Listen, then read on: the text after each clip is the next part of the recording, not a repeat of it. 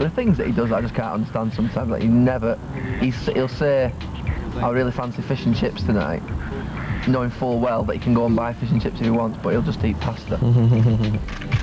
He's a liar. no, he's uh, no. To, to be fair, uh, yeah, he could be. He, he's probably the louder of the two, the two of us. Uh, can be quite bossy. Uh, what he says goes. We have, we have to do everything he wants to do. Uh, but apart from that, it's okay.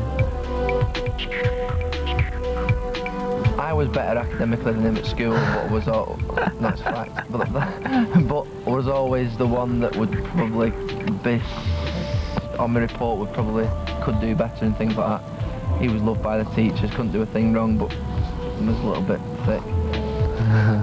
Is that a fair comment then, Phil? Uh, Silence says it all, really, doesn't it?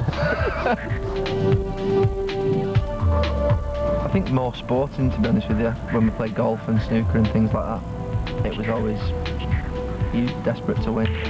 the other sports that we play for fun, like golf and uh, golf and snooker, then uh, you know Gary, unfortunately, is not very good at.